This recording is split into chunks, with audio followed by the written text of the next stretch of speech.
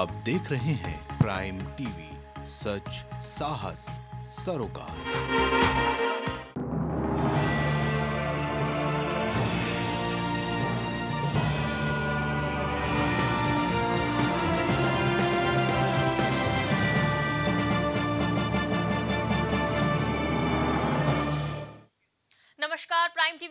स्वागत है। मैं हूँ आपके साथ शिखा मेहरोत्रा। शुरुआत करते हैं प्राइम उत्तर प्रदेश की।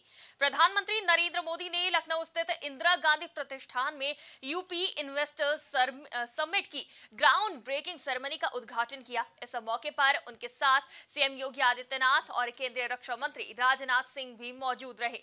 उद्घाटन के बाद प्रधानमंत्री ने आईजीपी में प्रदर्शनी देखी। उन्होंने ओडीओपी के उत्पादों का भी जायजा लिया। इस दौरान उद्योगपति गौतम अडानी ने सत्तर हज़ार रुपए निवेश का वादा किया है। वहीं आदित्य बिरला ग्रुप के अध्यक्ष कुमार मंगलम बिरला ने भी प्रदेश में चालीस हज़ार करोड़ के निवेश का ऐलान किया है।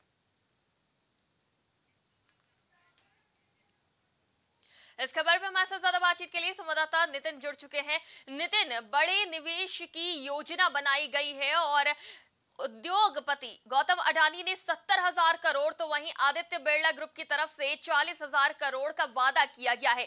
बड़ा निवेश आ रहा है, कुल अस्सी हज़ार करोड़ का निवेश आ रहा है। उत्तर प्रदेश में किस तरह से देखते हैं? देखिए, जिस उपलक्ष्य में आज ये कार्यक्रम किया गया था और जिस जो प्रमुख चीज़ें थी उत्तर प्रदेश में उद्योगों की संभावनाओं को लेकर के जिस लिए इन उद्योगपतियों को उत्तर प्रदेश में बुलाया गया था, लगभग वो सभी कारगर सिद्ध हुई हैं। कई ऐसे बड़े उद्योगपति इस पूरे कार्यक्रम में शिरकत करने पहुँचे थे, जिसमें सबसे अहम नाम है गौतम अडानी का, जिन्होंने साफ़ तौर पर ज़िक्र किया कि हमें उत्तर प्रदेश के मुख्यमंत्री योगी आदित्यनाथ और देश के प्रधानमंत्री नरेंद्र मोदी पर पूरा भरोसा है और ये दोनों एक डबल इंजन की तरह सरकार चला रहे हैं और कहीं ना कहीं उत्तर प्रदेश में भी युवाओं को बहुत बेहतर जो आने वाले दिनों में जो जो उपलब्धियाँ हैं वो मिल सकती हैं। अगर वो बेहतर तरीके से उत्तर प्रदेश के विकास के साथ जुड़ करके काम करेंगे तो।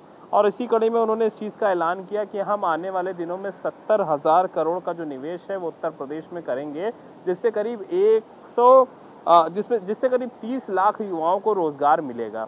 इसके अलावा अगर हम देखें तो कुमार मंगलम भी इस कार्यक्रम में मौजूद थे। कुमार मंगलम ने भी साफ़ तौर पर उत्तर प्रदेश के युवाओं को और युग परिवर्तन जैसी बातें कही। उन्होंने कहा कि उत्तर प्रदेश में ये जो कदम उठाए जा रहे हैं, इससे कहीं ना कहीं एक पूरे युग का जो परिवर्तन है, वो हो रहा है। उन्होंने रेनकोट स्थित हिंडालको का भी और अल्मोनिया हिंडालिको का हिंडालिको के बारे में बताया कि वो आज दुनिया में सबसे ज़्यादा जो अल्मोनियम है, उसका निर्माता बन गया है।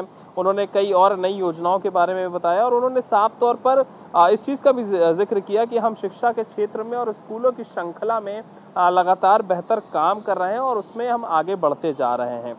इसके अलावा ग्राउंड ब्रेकिंग सेरेमनी की अगर बात करी जाए तो साफ़ तौर पर कई और बड़े नाम इस पूरे कार्यक्रम में मौजूद थे। गौतम अडानी ने कई सारी प्रमुख बातें कही, लेकिन जिन हीरा नंदानी की अगर बात करी जाए तो उन्होंने भी साफ़ तौर पर कहा कि हम यूपी में अगले पाँच साल प्रत्येक वर्ष हज़ार करोड़ केवल डाटा सेंटर में ही निवेश करेंगे। उन्होंने साफ़ तौर पर कहा कि पहले जितने लोग देश प्रदेश में डाटा सेंटर या फिर जो इलेक्ट्रॉनिक इक्विपमेंट्स हैं या फिर इन चीज़ों से जुड़े हुए नहीं थे उनको और बढ़ावा देने की कोशिश हमारी तरफ़ से रहेगी और हर साल हम हज़ार करोड़ का जो निवेश है वो केवल केवल डाटा सेंटर में करेंगे। आ, उसके अलावा मैथ्यू एरिया भी इस कार्यक्रम में मौजूद थे जो कि जाने माने उद्योगपति है और उन्होंने भी साफ़ तौर पर कहा कि हम तेज़ी से अपने प्रोजेक्ट में जो निवेश है उसको बढ़ा रहे हैं और तेज़ी से हम उत्तर प्रदेश और देश के साथ मिलकर के उत्तर प्रदेश में कैसे निवेश करके युवाओं को रोज़गार देना है, कैसे यहाँ पर स्थितियों को और बेहतर करना है, उस पर पूरा जो प्रकाश और पूरा जो फोकस है वो हमारा रहेगा। कार्यक्रम में रक्षा मंत्री राजनाथ सिंह भी मौजूद थे, उन्होंने भी उत्तर प्रदेश के मुख्यमंत्री योगी आदित्यनाथ और उत्तर प्रदेश में संभावनाओं के बारे में काफ़ी कुछ कहा। जितने भी जो उद्योगपति आए थे उनका धन्यवाद उन्होंने दिया। लेकिन सबको इंतज़ार था उत्तर प्रदेश के मुख्यमंत्री और प्रदेश के प्रधानमंत्री नरेंद्र मोदी के संबोधन का। और साफ़ तौर पर जब सीएम योगी आदित्यनाथ बोलने के लिए आए तो उन्होंने उत्तर प्रदेश में अब तक कैसे सरकार ने काम किया है और पहले की क्या स्थितियाँ थी उन स्थितियों को कैसे लड़कर के बेहतर किया गया उसके बारे में बताया। उन्होंने सभी निवेशकों का काफ़ी शुक्रिया अदा किया। उन्होंने कहा कि पहले किस तरह से जो पहली की दो ग्राउंड ब्रेकिंग सेरेमनीज हुई हैं, उसमें जो निवेश आया है, उससे कितना लाभ पहुँचा है, कितने युवाओं को नौकरी मिली है। और साफ़ तौर पर उन्होंने कहा है कि हमने 40 विभागों की 1400 कंप्लायंस जो थी, वो समाप्त करके सिंगल विंडो कार्यक्रम चलाया है। और उस सिंगल विंडो सिस्टम से कहीं ना कहीं जो व्यापारी है और जो उद्योगपति है या फिर जो उद्योग से जुड़ना चाहते हैं और जो युवा हैं, उन सबको एक एक दरवाजे से रास्ता मिल रहा है कि कैसे वो उत्तर प्रदेश के विकास में जुड़ करके अपना काम बेहतर तरीके से कर सकते हैं।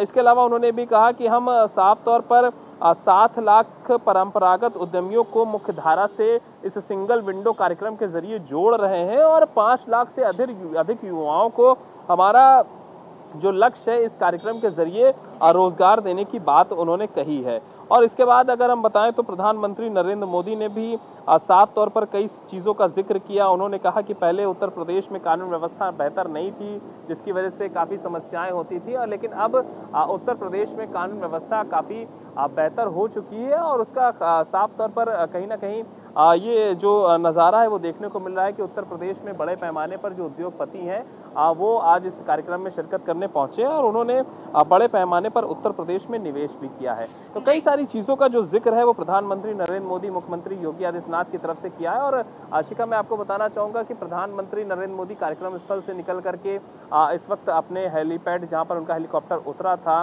लामार्ट्स कॉलेज के मैदान में बिल्कुल हमारे पीछे वो मैदान है वहाँ पर आ, उनका जो हेलीकॉप्टर है वो अब से थोड़ी देर में यहाँ से आ, फ्लाई करेगा और वो अब कानपुर के लिए आगे आ, की तरफ़ प्रस्थान करेंगे। जी एक बात और भी कही थी प्रधानमंत्री ने कि आप काम करिए और हम आपके साथ हैं। तो जिस तरह से रोज़गार देने की बात कही जा रही है, रोज़गार के अवसर भी खुलेंगे और उद्योगपतियों ने भी इस बात को कहा कि उत्तर प्रदेश में रोज़गार के अवसर खुलने वाले हैं और जिस तरह से उद्योग को बढ़ावा दिया जा रहा है, उत्तर प्रदेश में वो काफ़ी सराहनीय भी है। जिस तरह से उद्योगपति कोशिश करते हैं यहाँ पे उद्योग स्थापित करने की, लोगों को रोज़गार देने की, उसके लिए सरकार से भी उन्हें अनुमति मिल जाती है। जल्द ही इनको ज़मीन भी मिल जाती है और जो प्रक्रिया है वो शुरू हो जाती है। यानी कि सुगम है यहाँ पे इन्वेस्ट करना। इस ओर भी ध्यान केंद्रित किया गया है। इसके बारे में क्या कहेंगे? देखिए साफ़ तौर पर प्रधानमंत्री नरेंद्र मोदी अपनी सरकार की, केंद्र सरकार की और प्रदेश सरकार की योजनाओं के बारे में बता रहे थे और साफ़ तौर पर उन्होंने इस बात का ज़िक्र किया कि किस तरह से उद्योगपतियों ने उत्तर प्रदेश में निवेश करके यहाँ के युवाओं पर और यहाँ की सरकार पर भरोसा जताया है और उसका काफ़ी कुछ लाभ जो है वो यहाँ के युवाओं को और यहाँ के जो बाज़ार हैं उन्हें मिला है। चाहे ओडीओपी के ज़रिए छोटे व्यापार हो या फिर बड़े व्यापारों की बात अगर करी जाए तो। आ, इसमें साफ़ तौर पर प्रधानमंत्री नरेंद्र मोदी की तरफ़ से कहा गया है कि 40 बिलियन डॉलर का जो एफडीआई है वो भारत में आया है जो इसकी जो कि इसके पहले कभी नहीं आया था और ये एक तरह का रिकॉर्ड है और आज भारत ग्लोबल रिटेल ग्रोथ में दूसरे नंबर पर पहुँच गया है। जो कि अपने में एक बहुत बड़ी उपलब्धि है भारत के लिए। इसके अलावा ये समय हमको एक साथ साझा रह करके काम करना है, प्रयास करना है, ऐसी बात उन्होंने कही। लेकिन इन सबके बीच में उन्होंने रिफॉर्मेशन की बात कही है। उन्होंने कहा कि हम अपने रिफॉर्म्स के ज़रिए राष्ट्र के रूप में भारत को मजबूती देने की पूरी कोशिश कर रहे हैं और उसमें उन्होंने चार प्रमुख बिंदुओं का जो ज़िक्र है वो किया है। उसमें उन्होंने कहा है कि वन नेशन वन टैक्स जिसे हम और आप जीएसटी के नाम से जानते हैं। उन्होंने कहा कि वन नेशन वन ग्रिड इसके अलावा one nation one mobility card और उन्होंने कहा कि one nation one ration card के प्रयास से हमारी जो ठोस स्पष्ट नीतियाँ हैं जो स्पष्ट योजनाएँ हैं उनका जो क्रियान्वयन है उनको जो जनता तक पहुँचाने का लाभ है या फिर व्यापारियों को निवेश करवाना है या उनको बेहतर एटमोस्फेयर कैसे देना है कैसे जो काम है उसे आसान करना है इन सारी बिंदुओं के ज़रिए वो काफ़ी आसान होता है युवाओं को रोज़गार मिल रहा है निवेशकों को निवेश करने के लिए बाज़ार मिल रहा है दूसरा कार्यकाल संभाला है और वन ट्रिलियन की अर्थव्यवस्था बनाने का लक्ष्य लेके चले हैं। तो क्या इस तीसरे ग्राउंड ब्रेकिंग सेरेमनी से कितनी मदद मिलेगी? और ये भी बताया जा रहा है कि पहले और दूसरे के बाद अब ये जो तीसरा निवेश हो रहा है करीब तीन लाख करोड़ का निवेश बताया जा रहा है कुल मिला के। तो इससे कितनी सफलता मिलने वाली है? सीएम योगी के तीसरे जिस तरह से ये ग्राउंड ब्रेकिंग सेरेमनी करी है और जो दूसरा कार्यकाल है तो उसमें कितना योगदान रहेगा इस निवेश का?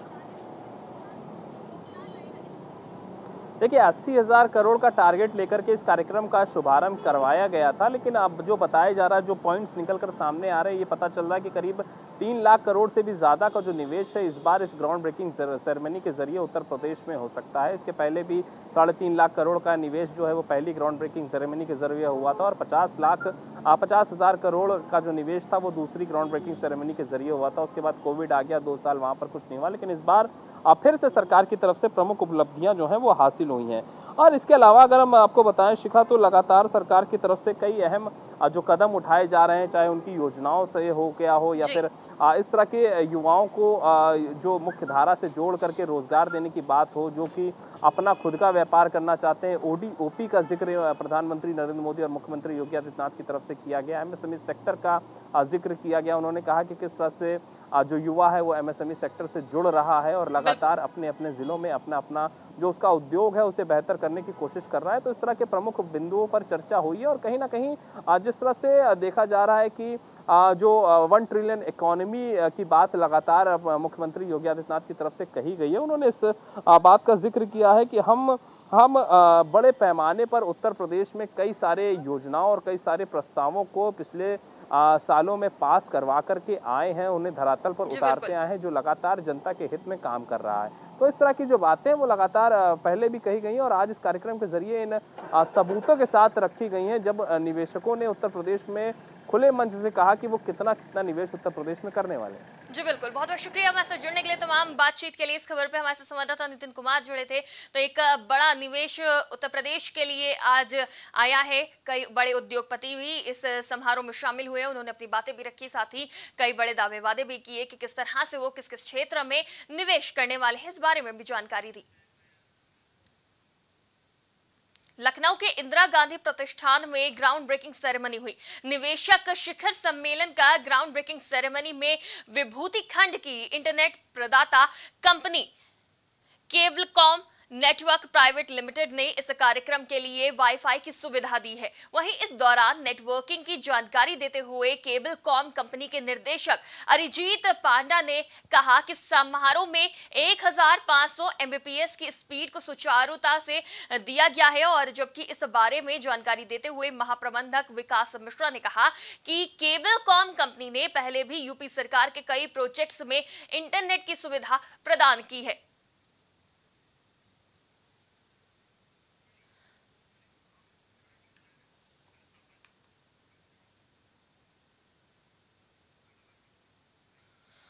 और केबल कॉम कंपनी के निर्देशक अरिजीत पांडा जी हमारे साथ जुड़ चुके हैं, जिनसे हम जानेंगे कि जिस तरह से उन्होंने अभी तक सरकारी कामों में अपनी महत्वपूर्ण भूमिका निभाई है तो अभी तक का सफ़र कैसा रहा है? सर, आपका बहुत बहुत स्वागत है प्राइम टीवी में। तो जिस तरह से आपने अहम भूमिका निभाई है, सरकार के काम में अपनी कंपनी का जो सहयोग दिया है, उसके बारे में जानकारी चाहेंगे सबसे पहले।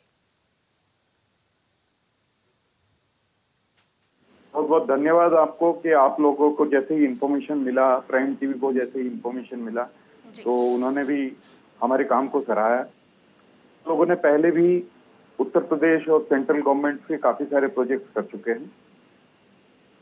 यहाँ पे हम विगत पंद्रह दिनों से हमारी टीम बहुत मेहनत कर रही है और पूरा वाईफाई और नेटवर्किंग का काम हमें मिला है। और अभी जैसे आपने देखा होगा ये मोदी जी का पूरा वीडियो स्ट्रीमिंग और वहाँ पे जितने भी उद्योगपति थे उनका वाईफाई वो सारा कुछ हमारे इंटरनेट के थ्रू सुचारू रूप से दिया गया है। तो जिस तरह से इस वक्त बहुत सारी नेटवर्किंग कंपनियाँ हैं लेकिन आपको चुना गया है तो ये आपके लिए कितना चैलेंजिंग था? क्योंकि कोई भी गवर्नमेंट का काम होता है वो आसान नहीं होता है। एक छोटी सी भी गलती बहुत भारी पड़ सकती है लेकिन आपने आपकी कंपनी ने सफलतापूर्वक इस टास्क को पूरा किया है। कितना चैलेंजिंग रहा?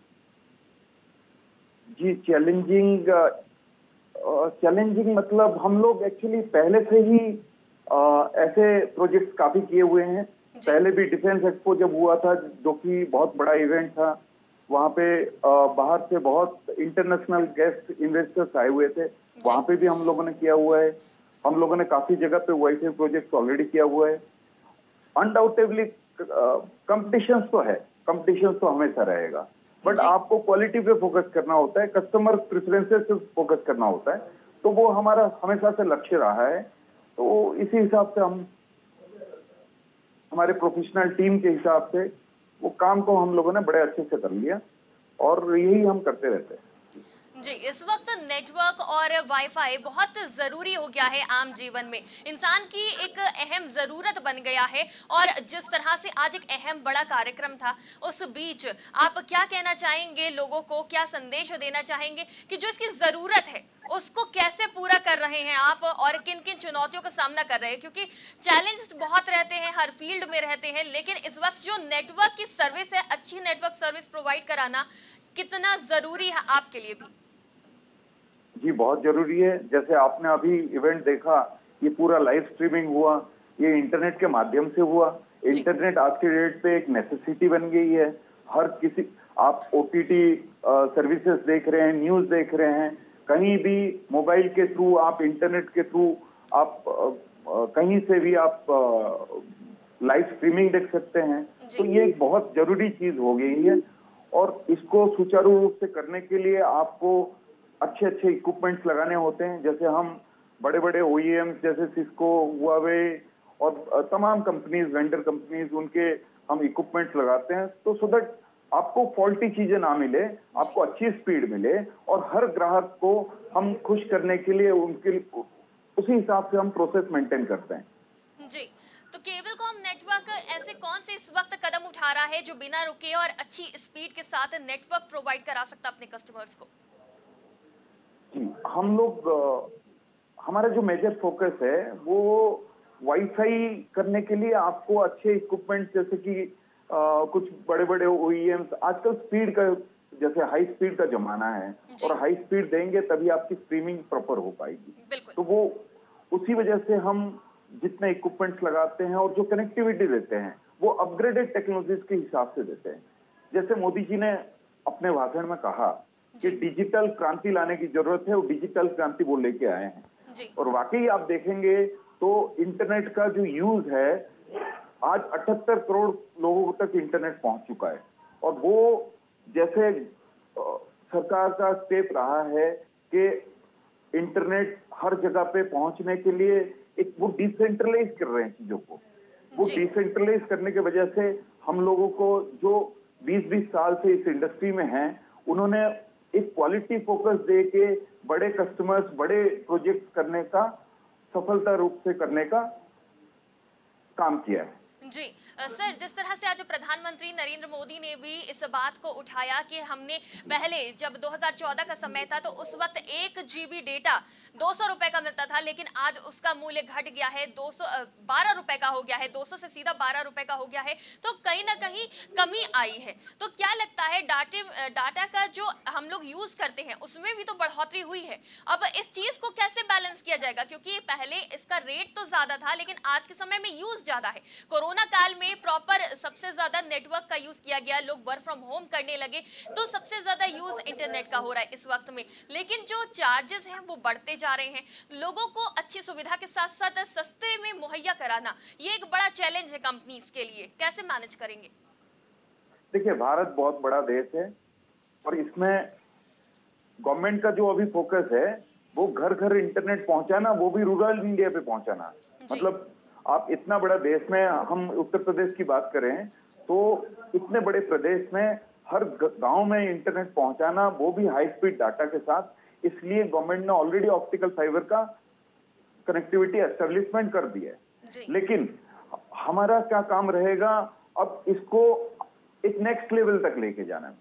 तो इसलिए भी गवर्नमेंट की तरफ़ से एक और चीज़ें होनी चाहिए जिसमें गवर्नमेंट का टैक्सेशन कम होना चाहिए जो जैसे हमारे इंटरनेट प्रोवाइडर कंपनीज़ हैं उस पर ज़्यादा लोड ना आए और सब्सक्राइबर को वो कम पैसे में सही चीज़ें दे पाए। जी बिल्कुल, बहुत बहुत शुक्रिया हमारे साथ जुड़ने के लिए और तमाम बातचीत के लिए इस खबर पे। हमारे साथ केबल कॉम कंपनी के निर्देशक अरिजीत पांडा जी जुड़े थे, जिन्होंने बताया कि किस तरह से वो स्मूथ इंटरनेट सर्विसेज़ प्रोवाइड कर रहे हैं अपने कस्टमर्स को। और आज जो थर्ड ग्राउंड ब्रेकिंग सेरेमनी थी, उसमें भी इन्हें मौका मिला अपनी सर्विस प्रोवाइड करने का और कितना उत्साहित फील कर रहे थे। खबर मैनपुरी से है, जहाँ अस्पताल प्रशासन की बड़ी लापरवाही देखने को मिली है, जिसका वीडियो सोशल मीडिया पर तेज़ी से वायरल हो रहा है। जिसमें देखा जा सकता है कि गंभीर हालत में एक मरीज़, उसके परिजन हथठेले पर लेकर अस्पताल पहुँचते हैं। परिजनों ने बताया कि काफ़ी दिनों से मरीज़ बुखार से ग्रसित था। वहीं इस मामले पर चिकित्सा अधिकारी डॉक्टर आनंद किशोर का कहना है कि मरीज़ को प्राथमिक उपचार दे दिया गया है जिसके बाद उसे गंभीर हालत में जिला अस्पताल के लिए रेफर कर दिया गया है। बीमार थे। कितने दिन से? करीब गए आठ दस दिन। आठ दस दिन से बीमार थे। आप ठेले पर लेके आए हैं? एंबुलेंस वगैरह कोई सुविधा नहीं मिली क्या? अच्छा। किया अभी कोई आया डॉक्टर देखने?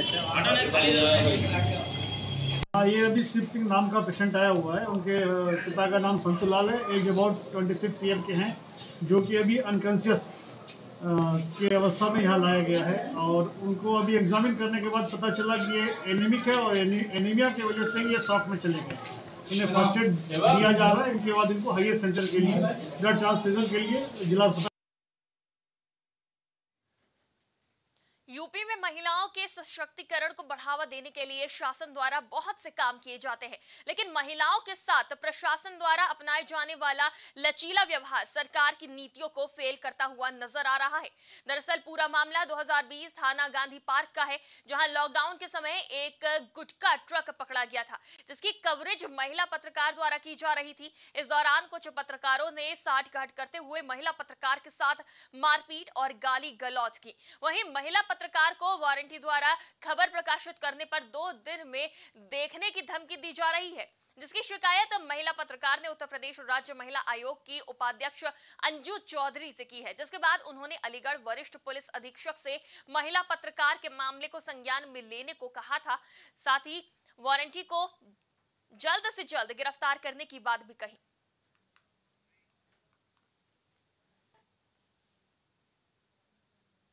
पत्रकार शशि गुप्ता है और मैं यहाँ एक मामला लेके अब अपना ही खुद का मामला लेके एसएसपी साहब से खुद मिली हूँ। 2020 में मेरे साथ कुछ कुछ पत्रकारों द्वारा जो अर्जुन देव और उसके सहयोगी रामचंद्र और उसके कुछ और सहयोगी द्वारा छेड़छाड़ था, हुई थी मेरे साथ और मेरा मोबाइल छीना गया था, जिसको लेके मैं आज तक थाना गादी पार्क का लचीला व्यवहार रहा, उनको गिरफ़्तार नहीं किया गया, जो कि मामला कोर्ट में विचाराधीन है, वारंट निकले हुए हैं, उसके बावजूद भी वो मेरे सहयोगियों को, मेरे को, मेरे हस्बैंड को सबको बाकायदा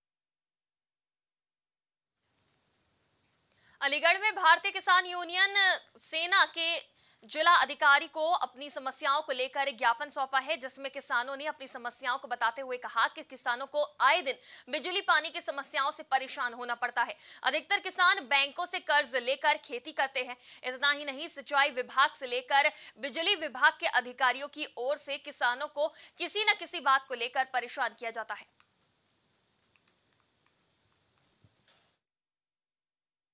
समस्याएँ हैं हमारी सड़कों से लेकर, जैसे हमारे किसान नेताओं के ऊपर स्याही फेंकना, कुछ लोगों पर गोली चलवाना, ये सरकार की नीति लग रही है हम लोगों को। अगर ऐसा नहीं है तो इन लोगों के खिलाफ कार्रवाई की जाए, इन लोगों को जेल भेजा जाए।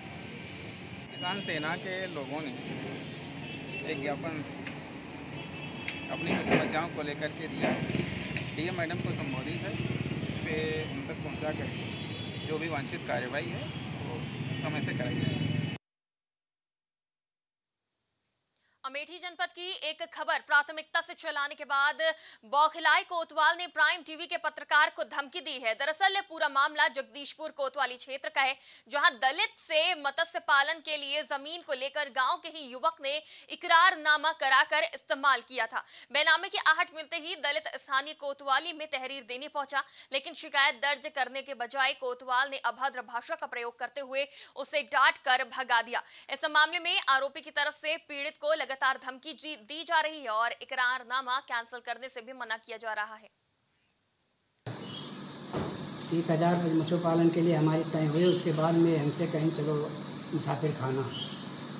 तीस हज़ार रुपया देने वहाँ कहीं एग्रीमेंट करा लिए बैनामा खाते हैं एक साल के लिए। जब वहाँ से हम जाना, यहाँ घरे आए तो जाना हम तो उसके बाद हम इनके घर गए। घर जाने के बाद ये हम, हमारे ऊपर धावा बोल दें धावा जब बोल दें तो हमका लाते से घूटा से, घर पर मारेंगे साले। कसक न लिखी हो तब तो अब लिखाएँगे भाई हम तो कोतवाल की दबंगई देखने को मिली है, जहाँ प्राइम प्राइम टीवी ने कुछ दिन पहले इस खबर को भी चलाया था, और इस खबर को चलाने के बाद बौखलाई कोतवाल ने अब प्राइम टीवी के पत्रकार को धमकी दी है। पूरा मामला जगदीशपुर कोतवाली का है। दलित से मत्स्य पालन के लिए ज़मीन को लेकर गाँव के ही युवक ने इकरारनामा किया था और अब इस मामले में पुलिस ने एक्शन नहीं लिया है। तो जिसके बाद पुलिस बौखलाई भी नज़र आ रही है और इस खबर पे हमारे साथ संवाददाता वीरेन जुड़ चुके हैं। वीरेन, पूरी जानकारी चाहेंगे? आखिर पुलिस द्वारा किस तरह का रवैया अपनाया गया है पत्रकार के साथ? जी, मैं आपको बिल्कुल बता दूँ कि अमेठी ज़िले के जगदीशपुर कोतवाली का मामला है, जहाँ पर एक पीड़ित है। पीड़ित का कहना पीड़ित ने जो हमको बयान दिया, हमने अपने बयान के आधार पे हमने उस चैनल पे, अपने न्यूज़ चैनल पे चलवाया। वहीं पे जब उन्होंने देखा कि खबर चल रही है तो कोतवाल साहब बौखला गए और बौखलाहट में उन्होंने मुझे फ़ोन किया और कहा कि आप ये सही नहीं कर रहे हैं और ये आप द्वारा फर्जी खबर बनाई गई है क्योंकि और भी न्यूज़ चैनलों में और पेपर में ये खबर प्रकाशित हुई है। वो मुझे उल्टा जी।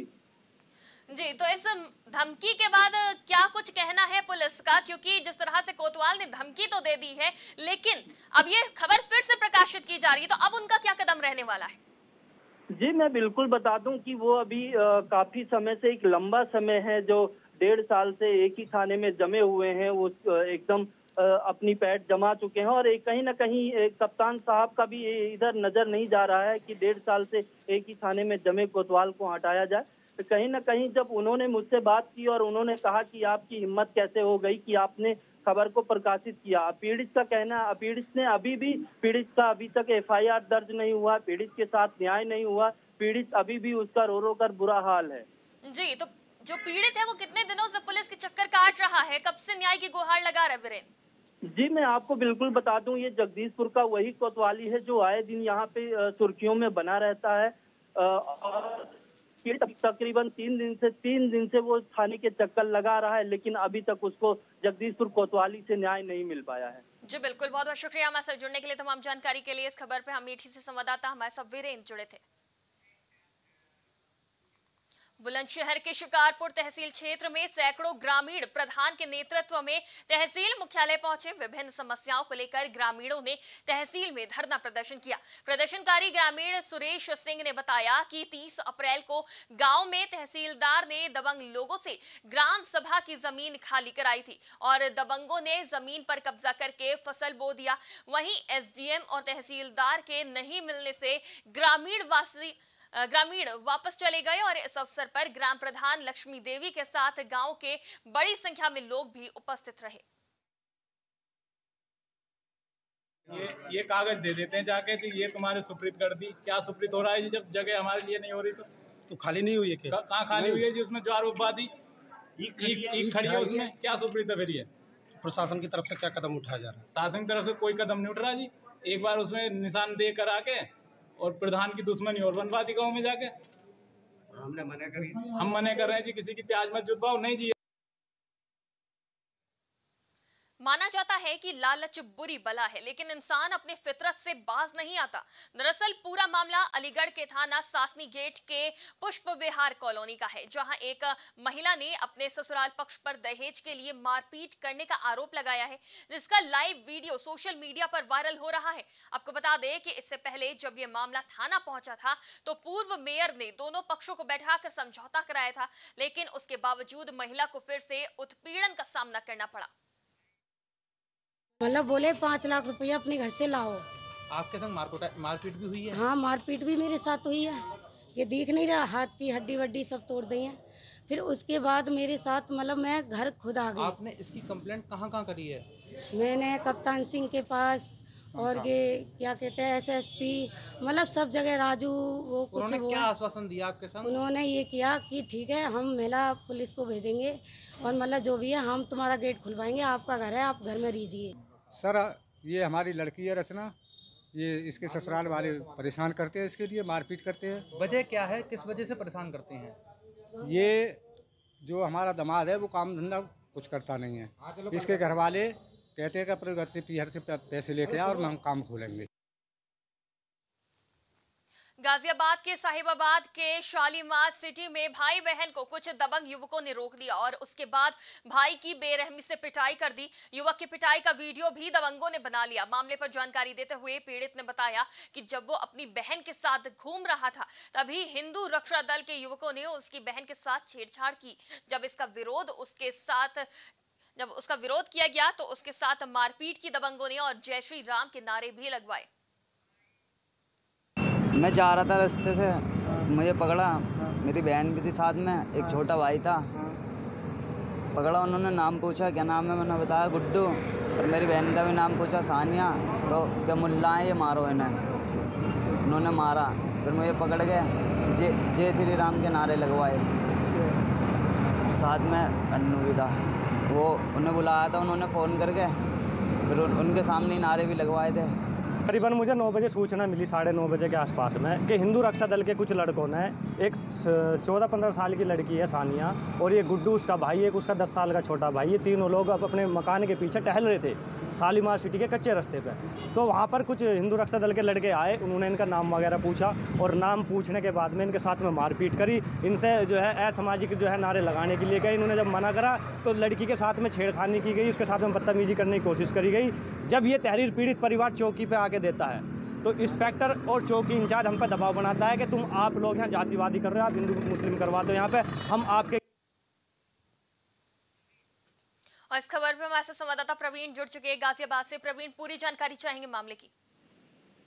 देखिए बता दूँ आपको ये गाजियाबाद का पूरा मामला है जहाँ पर एक लड़का अपनी बहन के साथ दो एक छोटा भाई उसका होता है साथ में ये टहलने के लिए निकलते हैं अपने घर के पास टहल होते हैं वही कुछ लोग अज्ञात लोग आते हैं जो कि उनसे उनका नाम पूछने लगते हैं कि आज तुम्हारा नाम क्या है। जैसे कि वो छोटा बच्चा अपना नाम गुड्डू बताता है वही लड़की का नाम पूछा जाता है तो लड़की का नाम सानिया बताता है बताया जाता है। तो कहीं ना कहीं एक समुदाय विशेष को लेकर वो हिंदू रक्षा दल के कार्यकर्ता या कुछ उनके जुड़े उनसे जुड़े हुए लोग बताए जाते हैं जिस तरह से उन उस बच्चे पे और उस लड़की पे कहीं ना कहीं एक समुदाय विशेष का नाम सुनते ही वो लोग उनके ऊपर मारपीट कर देते हैं। मारपीट इस तरह से की जाती है कि आप तस्वीरों में भी देख सकते हैं कि उस लड़के के पूरी पीठ के ऊपर जिस तरह से पूरे लाल के निशान है कि किस तरह से लाठी डंडे से पीटा गया लात घूसों से पीटा गया तो कहीं ना कहीं एक कानून व्यवस्था पे सवाल ये निशान खड़ा होता है कि आखिर योगी राज के अंदर में कि इस तरह के जो बच्चे हैं खासतौर पे छोटे बच्चे हैं जिनके साथ इस तरह के हिंदू रक्षा दल के लोग या कोई ऐसे समुदाय की बात करें तो पुलिस ने क्या कुछ एक्शन लिया है? क्या कोई रिपोर्ट लिखी गई या फिर उनकी भी लचर व्यवस्था देखने को मिली?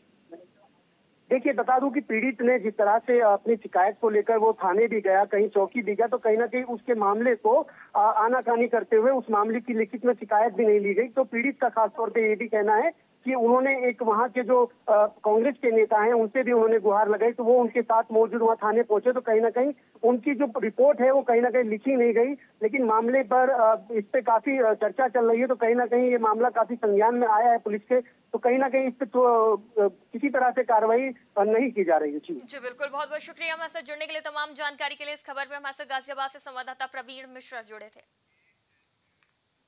बलिया ज़िले की पुलिस ने सेक्स रैकेट का खुलासा किया है। इस दौरान पुलिस ने रेलवे स्टेशन इलाके में स्थित होटल में छापा मारकर देह व्यापार में लिप्त पाँच पुरुष और पाँच महिलाओं को हिरासत में लिया है। जिसके बाद पुलिस ने होटल को सील करते हुए होटल मालिक को गिरफ़्तार कर लिया है। वहीं इस मामले पर बलिया के सिटी मजिस्ट्रेट प्रदीप कुमार ने बताया कि पुलिस को जानकारी मिली कि होटल में अवैध कार्य किए जा रहे थे। उसके बाद पुलिस होटल पहुँची और कमरों की जाँच शुरू की। तो होटल के अंदर पाँच पुरुष और पाँच महिला आपत्तिजनक स्थिति में मिले। हमारी सीओ साहब को ये जानकारी मिली कि इस होटल में कुछ अवैध कार्य किए जाते हैं तो उन्होंने जाँच पड़ताल हेतु यहाँ पे आई। उसके बाद जब जाँच करने लगी तो सभी 16 कमरों की जाँच कराई गई और उसके बाद इंस्पेक्टर साहब पूरी फोर्स आके मैं आ, मुझे भी मैं भी आया और सब लोग मिलके एक इसका रेड किया गया। रेड में पाया गया पाँच कमरों में महिला और पुरुष बंद कमरों में पाए गए। उनसे जब पूछताछ की गई तो वो कुछ भी बताने में असमर्थ रहे और इसलिए उनको पूछताछ तो पुलिस ने देह व्यापार का भांडाफोड़ किया है। सूचना के आधार पर छापेमारी की गई और उसके बाद पाँच महिला और पाँच पुरुष को आपत्तिजनक हालत में रंगे हाथों पकड़ा है। बलिया से ये खबर सामने आ रही है।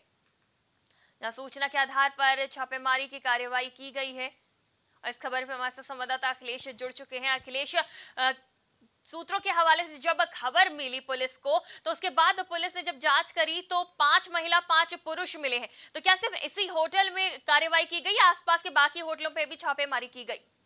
जी, आपको बता दें दो होटलों पे कार्रवाई हुई है और जो कि बिना रजिस्ट्रेशन के चल रहे थे और उसमें अवैध तरीके से अनैतिक कार्य चल रहा था। इसका ही यहीं के कोई एक समाज सेवी थे जो उच्च उच्च अधिकारियों तक शिकायत की और शिकायत पे सीओ मजिस्ट्रेट और यहाँ से प्रीति त्रिपाठी ने टीम गठित करके और उन्हें छापामारी की जिसमें तमाम पाँच जोड़े बरामद हुए। जी अखिलेश इन लोगों और साथी होटल पे क्या कुछ कार्रवाई की जाएगी अब?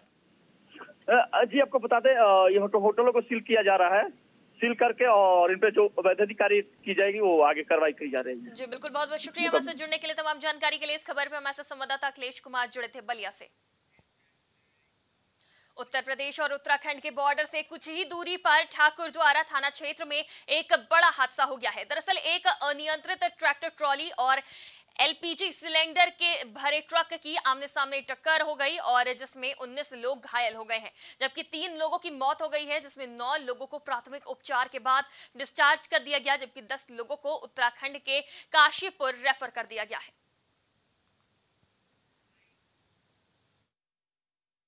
ये ट्रैक्टर ट्रॉली में कालू शहीद एक दरगाह पड़ती है, जसपुर के पास। जसपुर से थोड़ा आगे। वहाँ से आ रहे थे ट्रैक्टर ट्रॉली में, करीब 35-40 लोग होंगे। और सामने से एक ट्रक एलपीजी सिलेंडर से भरा हुआ था, उससे आपस में टक्कर हो गई। जिसमें काफ़ी लोग घायल हुए हैं। घायलों की संख्या का अभी ठीक से पता नहीं है और तीन कैजुअलिटी हुई है, मेल, फीमेल और सिलेंडर से भरे ट्रक की आमने सामने भिड़ंत हो गई है, जिसमें 19 लोग घायल हो गए हैं और तीन लोगों की मौत हो गई है। इस खबर पे हमारे साथ मुरादाबाद से संवाददाता शाहरुख जुड़ चुके हैं। शाहरुख किस जगह पे हुआ ये हादसा? आपको बता दूँ, ये मुरादाबाद के कोतवाली ठाकुर द्वारा के अंतर्गत ये हादसा हुआ है, बताया जा रहा है। ये लोग काशीपुर के पास से, दरगाह से जियारत कर लौट रहे थे। तभी सामने से आ रहे तेज रफ्तार गैस के कंटेनर ने इनकी ट्रैक्टर ट्रॉली में टक्कर मार दी, जिससे ट्रैक्टर ट्रॉली पलट गई और इसमें 19 लोग घायल बताए जा रहे हैं, जबकि तीन लोगों की मौके पर ही मौत हो गई है। जी, बिल्कुल बहुत बहुत शुक्रिया हमारे साथ जुड़ने के लिए। तमाम जानकारी के लिए इस खबर पे हमारे साथ संवाददाता शाहरुख हुसैन जुड़े थे मुरादाबाद से। अलीगढ़ थाना महुआ खेड़ा के धनी धनीपुर मंडी परिसर में दो पक्षों के बीच विवाद हो गया।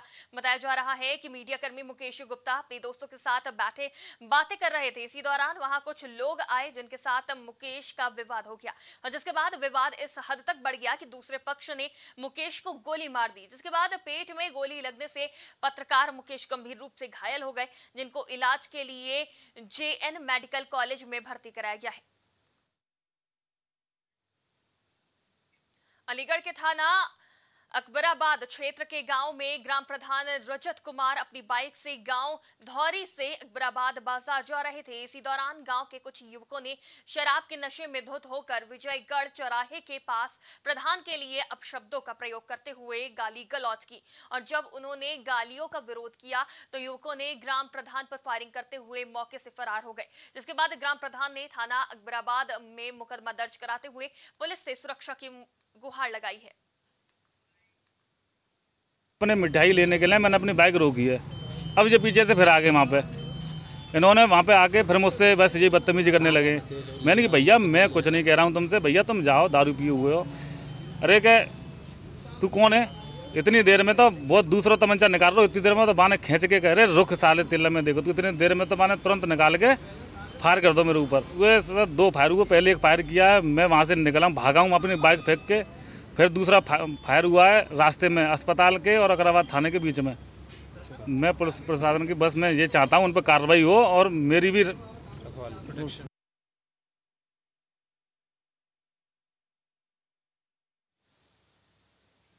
बदायूं में हरियाणा के गुड़गांव से थाना इस्लाम नगर में आई एक युवती को उसके ही प्रेमी ने गोली मारकर घायल अवस्था में उसे छोड़कर फरार हो गया।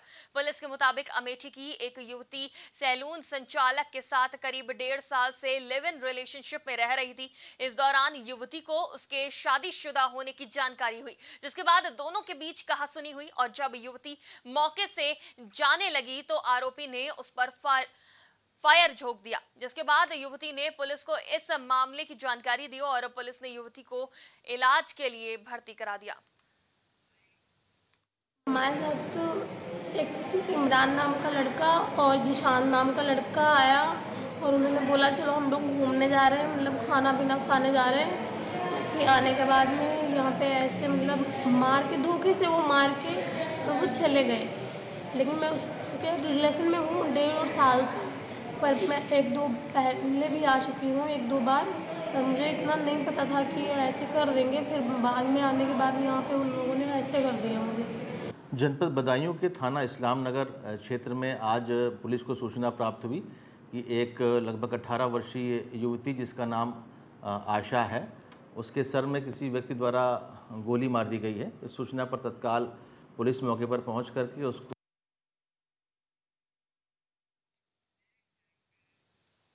संभल के असमोली थाना क्षेत्र में शहर के बाल विद्या मंदिर से छात्र कविदर अपने चचेरे भाई के साथ एग्ज़ाम देकर वापस लौट रहा था।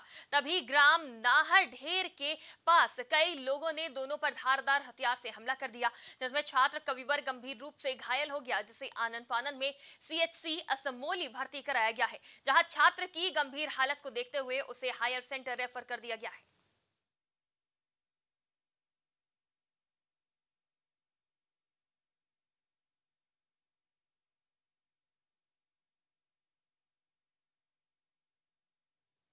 बदायूं में शातिर लुटेरों के हौसले बुलंद दिखाई दे रहे हैं और हज़ारों की लूट को बाइक सवार बदमाशों ने अंजाम दे दिया है। बता दें कि बेटी की शादी के लिए पिता बैंक से पैसे निकालने जा रहा था और इसी दौरान बदमाश उनचास हज़ार रुपए लूट कर फरार हो गए। कहा जा रहा है कि कुछ दिन पहले भी बदमाशों ने एक महिला से अड़सठ हज़ार रुपए की लूट की थी। प्राइम उत्तर प्रदेश में फ़िलहाल इतना ही। देश दुनिया की तमाम खबरों के लिए देखते रहिए प्राइम टीवी।